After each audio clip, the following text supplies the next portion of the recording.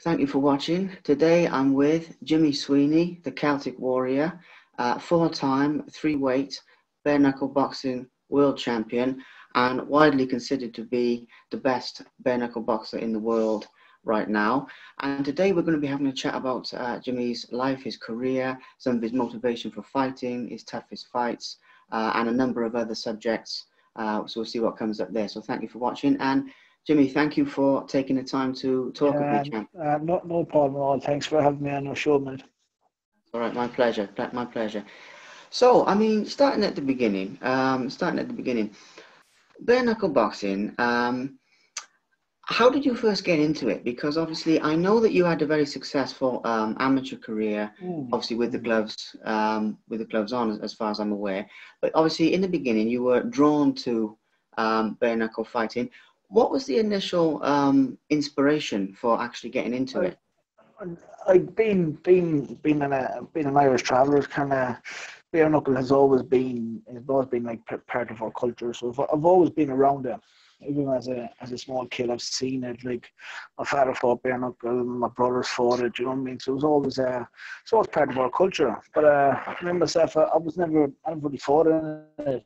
Like I never done the whole travel side of like um, outside ring fight and all that. But uh, yeah, as you said, I, I had a decent career as um, an amateur boxer.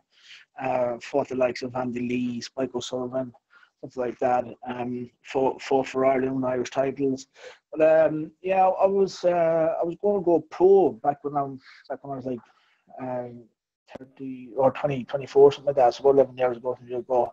But unfortunately, uh, a, a night out resulted in me going away for a bit of time. And uh, it's something that, uh, that obviously I regret. And uh, if, if I could change things, I would.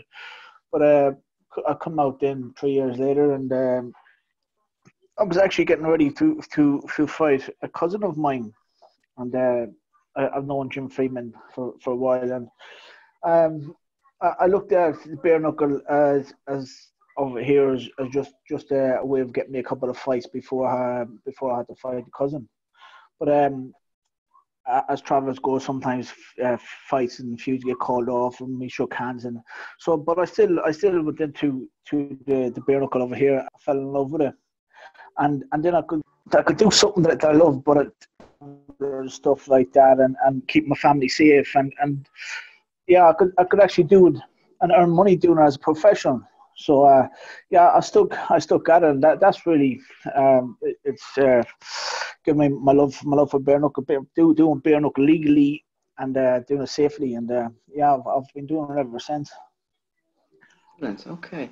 And you touched on something there, champ, that I just want to go back to. Um, you know, you touched on obviously always being part of your heritage, part of your culture. Now, your name, in, uh, your name in the ring, the Celtic Warrior, it, it's obviously a tribute um, to your heritage. I, I, can imagine that. But where did that yeah, name um, first appear? I mean, was that your idea, or did that did someone no, else? No, no, no. What happened was um, when I come over, they did a did like a competition uh, to to give me a name, and there was a couple of really really shit names going around. Like, you know, I mean, a couple of go on, but uh, the the promoter and the owners Joe Joe Brown actually picked it because uh, uh obviously I'm a Celt. And uh, he probably was a fan of Steve Collins or something, but uh, yeah, he, he he picked it, and uh, he he he won the competition. So yeah, he got free tickets. so yeah, it just, it just come about by um, just uh, just a competition for um, just a name, just a name me. So.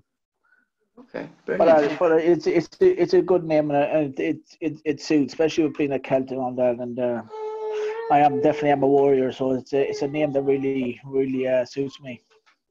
That's true. Yeah, I, I would agree with that. So, I mean, in a bit now, I'd like to get to the future, but before that, I, I'd like to sort of look back on your career a little bit. And obviously, you've had some amazing wins, uh, obviously with the world titles, but you know, defeating um, world boxers, defeating you know um, people like Melvin Guillard, who's in uh, MMA and the UFC. I mean, is there a particular moment in your career that's like the proudest moment? Uh, I mean, maybe there's more than one. I I'd say uh, I'd say that the, the proudest I've been is is beating Sean George for the for the lightweight world title and and becoming a, a three time a three time world champion. I've come and that's like a, at the lightweight that, that was like 76 kilos. I, I fought up on when I first joined. I, I fought as high as 94 kilos. So uh, for me to to for a guy who doesn't really train and and and to lose that much weight and get down and and still still, still gain like uh, world titles every division I was in, but but that that really for me stands out as as the biggest achievement and becoming a, a three-way world champion. So yeah, that, that really stands out, and and that. But that that that'll be but the proudest the proudest moment for me will, will be will be taking back my taking back my world title of Franco. That that'll be the new proudest moment of my career, and, and that's just a just a matter of time before that happens. Excellent. Okay. Now, something else that um, that I want to talk about here with that is obviously, you know, you've been competing at, you know, at the very, very highest level in bare knuckle boxing for a long time now, and I got to touch on motivation because obviously it takes a lot of um, a lot of dedication. You know, you've got a lot of heart anyway. I mean, everyone knows that. But what I'm trying to say is, what actually keeps a person motivated for you personally? Um, I know every fighter wants to be champion, but yeah. I th- got a feeling there's more to it with yourself. So, what, what is your actual fundamental um, motivation? My, my, my, my, yeah, mine is, mine is my dad actually. My, mine is my, my dad, and and um, I do I do everything that I ring for him. But my motivation is is, is for him to like I want to leave a legacy that will never be forgotten. Like, I I want to be in a hundred years' time, I'm, I'm, people still talking about me as the greatest bare knuckle fighter that, that's ever been. And my, my motivation now is, is is like is world titles. I'm getting as many world titles as, as I, I possibly can. I've three now, but with the new weight divisions coming in, it, it's it's it's easy. It's well, it's not easy, but it, it's possible that someone's going to try to uh, catch me. So uh, I've another. There's there's two divisions I'm looking at for so for to get to, to the five way world champion and, and, this is this is what I'm aiming for. This is my legacy. Uh, I, I want to do something that's never been done in in the sport and has never be be um never be done again. So this is the motive of me and, and, I, want, I want my kids growing up like being proud of their dad and what he's achieving in, in the sport. Yeah so it's just basically just this is what I'm a, a lot of people to grab one world title they're happy with it you know, I mean, that's that's their life achievement, and they can go out and that. That's not for me. I, I want to grab as many as I can. I want to be the greediest fighter going, but I, I want to get I want to get to five, at least five, and and and I feel I feel like that's very achievable for me. And and at 30, I'm I'm nearly 36 now, so I don't really have a lot lot long left in in the sport.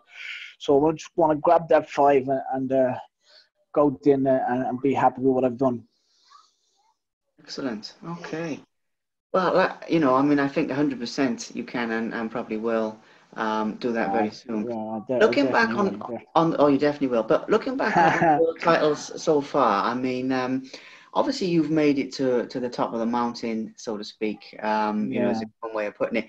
What did it actually feel like to um, to achieve winning? Obviously, you know, four world titles. But um, what did it actually feel like to go through that that experience um, and make it as far as you have. What's the actual experience of, of winning a title?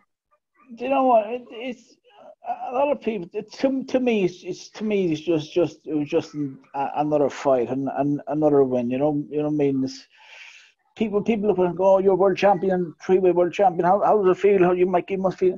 To me, it's just it's it's just it's just number. It's just fights. It's just it's it's it's to me, I'm not, I'm not finished achieving what I want, so I'm not gonna I'm not gonna settle on on like being not happy with what I've done. I'm not happy with what I've done yet, but when I when I get to where I want, I, I would be, I, I, would be I'd be over the moon what I've done. But for me now, it's just they're just world titles. It's not they're not any anything special or more than any other fighter. Just just a couple of world titles for me, and uh, yeah, it's not it's not it's not to get too excited about just yet. Okay. Okay, well, I can see where you're coming from. Um, I mean, you know, as a person looking on and somebody who follows your fights, um, I'd say, you know, it's, it's an amazing achievement from a perspective. But I do, I fully understand what you're saying, so that that's fair enough. And I mean, in terms of this is one you've probably answered a lot of times before, but I still want to throw it in there. In terms of toughest fights that you've had, I mean, in bare knuckle, every fight is, is bound to be pretty tough. Yeah. But is there is there one that stands out? Um, yeah, yeah. That little Mexican. Fuck, he was tough. Yeah, um, that Puerta. Uh, nine weeks before that fight, I, I, I the girlfriend said to me, fucking hell, he said, your father, your father when you fought only carer. So I rang Jim, Jim Freeman, Jim, I got to come to camp. I'm fat. Anyway, come down. So I come down, I jumped on the scale, and I was 94 kilos. I was 94 kilos. I, co- I come down to camp at 94 kilos, and, and the fight the fight weight for that was was 74. So 20 kilos to to lose in in nine weeks. The morning of the was like was over, so I had to jump. Obviously, I stayed in the sauna too long. I lost four kilos, so I come in at seventy-two kilos. So I lost twenty-two kilos in that camp, so like nearly four stone. So, uh, but the first couple of rounds, I felt all right. I felt good. I was boxing, but but uh, I kind of got a bit cocky and just kind of relaxed a bit too much, and he and he hit me with a right hand in the third. Now, when he hit me with that right hand, I, I couldn't feel the fucking thing. But uh, all I can remember is uh, I was at home with the girlfriend watching a movie, and I just said to her, "This is a shit movie." Then I just shook my head and I said, "Fuck, I'm actually in a fight here." Uh, so that that fight, then I got up and I just and I dropped him twice in that round, and and you know what? Every time I hit that guy, he just looked at me and and gave me this look that he wanted to kill me. So I just ran like fuck. That was the toughest fight I ever had, man. He was a tough, tough lad. Excellent. Okay. And, and there's something else there that, that you mentioned uh, a little earlier on about the world titles, and you mentioned the way you think of it. But in terms of mentally preparing for um, fights, you know, of this level, fights in knuckle, I mean, what goes through your mind on the run up to a fight um, from you know like in the mental aspect because people always talk about the physical don't they? But yeah yeah. about, about I'm, the mental. Do, do, you know what? I'm i'm calm like i'm i'm it's, it's not to, to like i'm not saying cocky or anything yet but i'm so used to this. I'm so i'm so used to fighting i'm so used to it to me it's just another day in the office you know what i mean? To, to me it's just it's just my mentally for me is always the thing is is the weight, the weight cut, losing the weight, getting on the weight that morning. That's the biggest thing for me is making is making weight because I, I struggle to make weight, and and I'll always like for my last even my last fight I had to lose four kilos the, the morning of the fight, kill me. So that's the biggest thing there. But once I make weight, then every, everything like is all, all I'm just thinking about is the fight. There's no like I'm not thinking about anything bad. I'm I'm I'm I'm visualizing what, what I'm going to do when I come into the arena. I'm visualizing what I'm doing in my changing room, what I'm going to do with the walkout, how I'm going to how I'm going to start the fight, stuff like that goes, goes through my mind. You know what I mean? So with, with fighters, it's all you have to get in a good good frame of mind, a good positive frame of mind before you go into the fight or or the morning of the fight. When, when you start you start doubting yourself or putting little things like that. That's when that's that's that's when like the battle is nearly lost at that stage. So it's all, it's always good to give yourself positive positive our uh, thinking throughout, throughout the day. As soon as you get up, and just think positive. Don't don't let any doubts because all the work is done at that stage. You know what I mean? So try to be as positive as, as you can and, and visualize the stuff you're going to do. So it's in your head. It's not new. So it's all in your head already that you've done it. So there's not new come into it. You know what I mean? So always go in there with that mind frame. That's a really good insight into it because, you know, it's something that people don't get just from watching the fights. Is is obviously um, people don't always see what the fighters actually go through themselves, so it, it makes sense. Now, it's another thing. It's another aspect to this is that obviously you've seen um, bare knuckle rise in popularity from a perspective. Now, I yeah. know it's always been um, part of your heritage and it's always been popular sort of underground. But obviously, you know, now like selling out the O2 and, you know, getting mainstream media and, and obviously you've been a big part of, of that process. So what are some of the changes that you've seen since you first got into, into bare knuckle, you know, however many years ago to now? Because um, you've seen it come, you've seen the actual sport come a long way. Yeah. Yeah, the, the biggest thing is like, it's the biggest thing that would like, it's accept it's it's accepted and it's like it's like it's it's it's, it's acceptable for for like families you know what I mean for, to bring kids with you know before when I when I first come to London before it was all gangster stuff and it was all tough men's underground and all that but now the biggest thing is now it's a sport. That's the the, the biggest thing of now. Before it, it, you couldn't call it a sport before. The the the the, the, the fans, not the fans, the people there associated was all they're all shady people. It was all uh, like Dave Courtney's fucking back garden and stuff like little barns. You know what I mean? It was always kind of dodgy, kind of shady stuff. But, but now the biggest thing is we're, we're accepted. You know, we're accepted by the go-to. Um, people coming in and accepting like BKB as a as an official sport now, and that's a and that's what we've that's what we've we've we've uh, been trying to do and trying to make it, and and that's the. The, the hardest thing was to change people's uh, thought process on, on, on BKB, and uh, I think we've we finally done that. Yeah, yeah, I'd agree. I mean, it, I, I've personally followed it for, for a long time, and it, and it's been nice to see that development, uh, in, like, but into the mainstream, basically. I mean, into yeah. into the mainstream and the big time. Now, there, there's something else there that um, that you know that I'd like to touch on. Is obviously you're a very technically skilled fighter. I mean, you know, that's something that, that a lot of people who follow you will know. But for anyone watching this who doesn't know that. You know, you're, you're a very technically skilled fighter. I mean, in terms of um, your best attributes um, as a fighter, I mean, you, you know, you've won all these fights inside the distance, mm. beaten the best. Um, what sort of separates you from from the rest? And I know earlier you were saying they're just world titles and they're nothing special, but there's got to be something going on where you're cut from from a different cloth, so to speak, to achieve. Uh, I'm, I'm, I'm just me. Uh, do, you know, I don't know. It's like it's hard. It's hard. It's hard. It's hard for me to say. Like it's easier for someone else to, to look at me and say, "Boom, this is what separates Jimmy.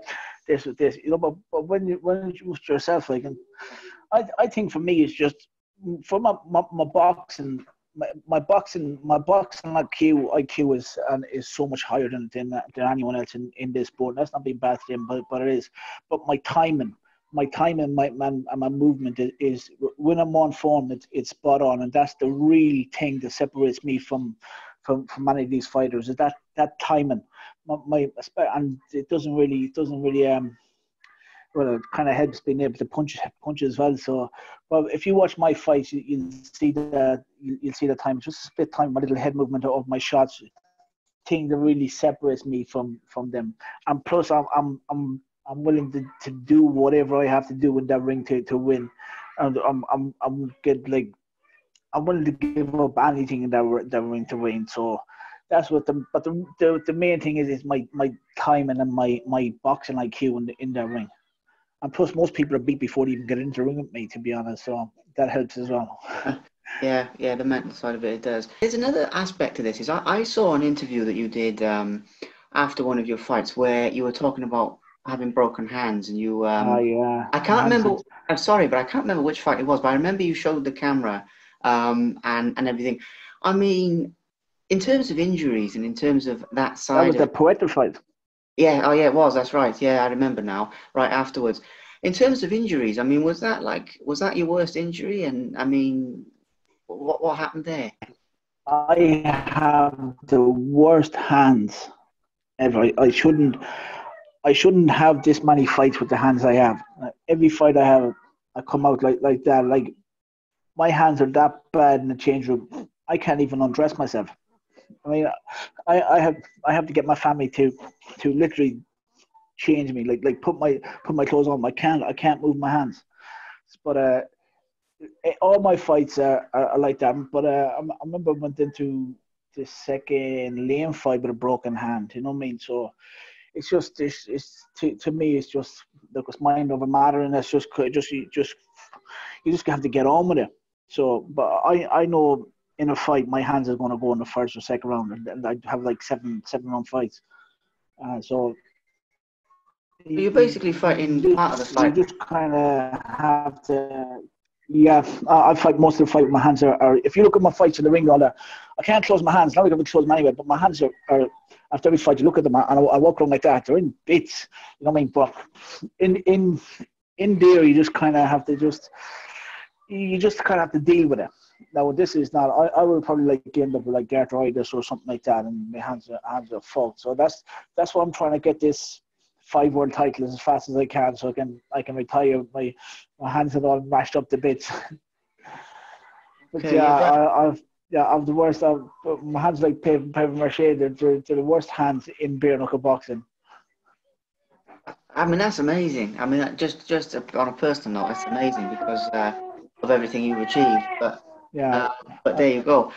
So another thing is obviously there's a lot of people um, now who you know look up to you. Um, obviously for, for everything you've achieved, and I know and I know you've got more to achieve, and we'll get there in a minute. But I mean, what sort of impact do you think that you've had on uh, on your community, on the sport? Because I would say, go on, carry on. Yeah. no, go on, go on, go on, sir. Go on. I was just going to say you're an inspiration to people. That's that's all. That's where I'm going with it. But yeah, what what do you think? Thank think? so much. Thank you so much. Do you know what? Um, uh, my my main thing is like just just like I'm I'm I'm great. Like I've I've never really co- I've never come into this board thinking oh I'm gonna be I'm gonna be a hero to people. I'm gonna inspire people on that. You know what I mean? It just just kind of happened on that, and that's probably that's probably my biggest achievement and, the stuff that uh, that I love most in in in BKB. But one of my main things is, is uh, I'd like to see more travelers get in, in, involved in, in, in this board. And the reason why is because if they're fighting bare knuckle and they're getting paid for this on TV, they're not going to be fighting each other. You know, you know what I mean? And there'll be less feuds and uh, family feuds and stuff like that. So this is what I'm, I'm hoping someone actually go and say, look, let, let's do what Jimmy's doing. Let's let's get paid for it, and let, let's go into that that line of, of bare knuckle boxing, and, and instead of like falling out with each other and feuding with, with each other and, and uh, having to fight like that for pride. You know what I mean? It's, it's, that's not good because what happens is too many feuds and the kids are getting arrested and people getting shot up and stuff like that. And you, you know what I mean? It's, it's, it's not good. Yeah. But yeah, do you know what? I've, I've, I've got the amount of messages that I, I've got from people that, that also all over the world and, and like uh, messages like that, that they really get you. And, like, like tell me how much they're and how much like they, they've gone back to the gyms and they've gone boxing and stuff like that. And you know I mean? That and, and, and that's lovely to hear. And I think every sports person uh, should should aim for stuff like that and, and, and to be seen as, as a, a role model for kids and, and, and, and use what, what they're doing uh, as a positive. Absolutely, absolutely. And that's another thing actually that, that I want to talk about is if you had to give sort of advice to somebody who um, you know wants to get into the sport, bare knuckle boxing, or maybe Don't. just but no, I mean somebody who wants to achieve in you know in life though. I mean you know because obviously you've achieved in life, and I know there's more you want to do, but Yeah. you know you, you just, definitely know are. just just don't just don't give up. Just, just don't give up. We've all we've all come to e- Even myself have come come line and, and I've wanted to give up and stuff like that. You know what I mean? And I- I've pushed through and I- I've, I've followed my, my, my dreams and and and I said to, to anyone grow up, whatever you're doing and whatever sport you're doing, all that, just just don't give up and, and keep at it and keep putting the work in every day, and you will achieve your your your, dreams or give it give it your best shot. As long as you're happy in yourself and, and, and, and you know that you've tried, that's all you can do. And, and just, just don't give up, though. Brilliant. Okay. Now, uh, there's only a couple more things with this, but I mean, I, I would like to get to um, obviously future plans, which you know you, you touched on earlier with winning another world title. Um, but I mean, how long do you think you've you've got in the sport? And and also, after you do retire, what do you plan on doing? I mean, do you think you're going to train people, or I mean, let's just talk Um, about the future. Yeah, the future. Um, in, you know what? After this, after this fight with, with Franco for how well I will- get my, my world title back. I think I'm gonna. um, I, I fight five six times a year. When hands like mine, and and especially now with a with a little kid now. My my son's eight eight months old. So uh, after this fight, I think I'm gonna. I'm only gonna fight about twice twice a year. So that's that's going to prolong it. So I'll get another. I could fight for another two, three years, two, two fights a year if, I- if I wanted to. But um, after this fight and a couple of more, I'm going to really sit down and, and think about what I'm what I'm doing. Like um, I really want to, I really want to open a gym. That's what I want to do. I want to open a gym and, and pass on my, my knowledge to to the kids going to come up today and. Uh, you know, I mean, ho- hopefully get them get them off the streets and get them boxing instead of um, just just hanging on the streets, smoking, drinking, and getting into trouble. Excellent. Yeah, well, that's, that's a great motivation, and, and you know, obviously, the world needs um, the world needs more of that type of thing. Um, you know, it, it needs more people helping people and, and giving back. Um, you know, yeah, yeah. Um, you know, in, in, all fairness, champ, I mean that that's a lot of you know what I wanted to talk about. Um, I mean, what's good about it is that obviously you you've talked about some stuff without me actually asking. Do you know what I mean? I, am, I'm, yeah, I'm used. I'm used to all this kind of. I just I just waffle on, man. I just I just keep talking. You know what I mean? So, but yeah, uh, yeah it's, it's kind of. Uh, it's a great interview because I'm really uh, got stuff that, that I want to talk about with the gyms opening up and their kids and, and helping people. So thank, thanks for that. That's okay. I mean, my plan with this, is, but like I say, was to do an interview that's a little bit different to you know what you usually see, um, and and I hope you know I hope it's done that, and I hope it's sort of opened up you to, to talk about some stuff. But before we you know before we wrap it up, though, I mean, I'm just going to throw this out there. Is there anything you want to say to people watching this, you know, to your fans, or anything at all that you sort of oh, hold on to? You know, you know, I, I can't I can't thank my fans enough for for the for the for the loyalty and the support that they've they've shown me through throughout the last five years of, of my career and, and even after my last fight and, and people have been having messaged me and even when it came out the day that we're fighting against September the messages that I've been getting from from fans and well wishers on that you know I mean? They're, they're they're a massive part of what we do and, and we couldn't really do it if it, if it, if it wasn't for them so I just want to thank them from, from the bottom of my heart for, for the support they've shown me Excellent. Okay. Well, champ, again, I mean, thank you very much for your time. Uh, I really appreciate Thank you so much. Thank you, man. Thank you very much for watching. Um, please subscribe to the Simply Inspired YouTube channel, and there'll be more videos coming soon.